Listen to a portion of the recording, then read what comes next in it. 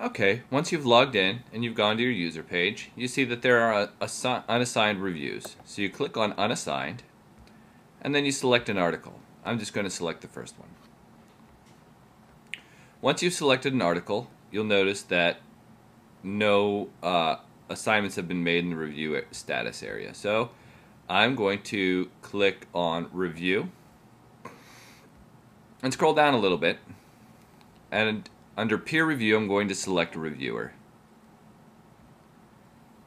Then I just go to the uh, reviewer that I want. In this case, it's going to be me. And I assign it. The second step is to select a review form. Since we only have one, we're just going to assign our review form that we have. If you have multiple, you can preview them. You can always clear a review form and all of that kind of fun stuff. And then the final step is this little uh, email envelope icon here. You click bleep, request, and it brings you to this screen where you send an email. Send, and then the reviewer will be notified that he or she has been assigned an email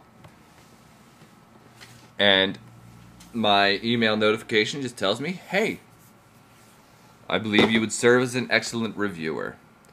Um, so I can go to my email where I got this um, and say, I believe you would serve. If you do not want to do it, blah, blah, blah, submission. So now I would just go and click this and then the review would be accepted or call for manuscripts and um,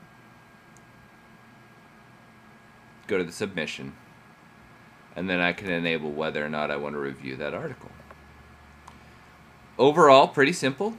Shouldn't take you very long, but uh, knowing that this is an icon to click can be a little tricky. Have a great day.